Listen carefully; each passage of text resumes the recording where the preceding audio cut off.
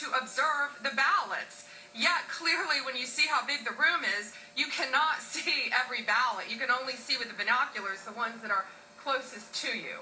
So that's a concession by them, and they're still not letting us see this. So we need to fix this. We need to remedy, remedy this now because we've won Pennsylvania, and we want every vote to be counted in a fair way. Thank you, and I'd like to introduce Corey Lewandowski.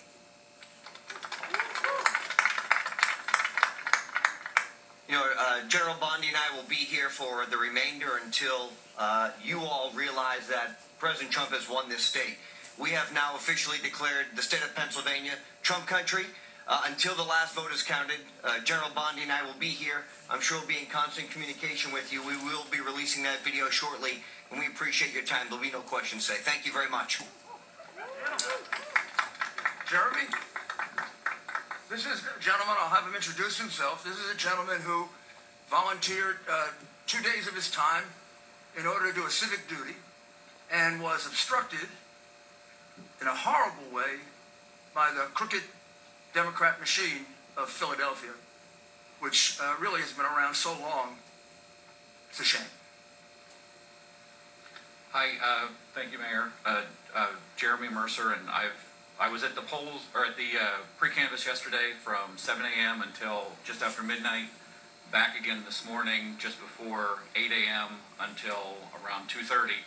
And uh, as has been described uh, very well, we're there supposedly observing, but we can't see.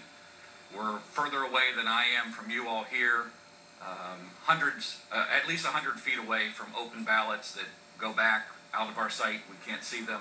We don't know what's happening to them. Um, it's just, uh, there's no way for us to meaningfully observe the process from where they have us. Could you tell us how many ballots approximately went through that process that you had no chance to observe?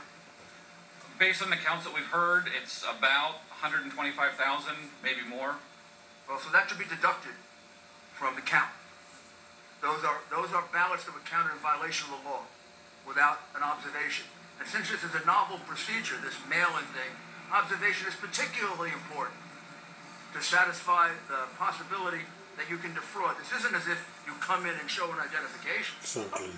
So that's what we're going to be seeking here and in, in Wisconsin, and quite possibly na- nationally, if there's as much evidence in Arizona and Nevada and Michigan.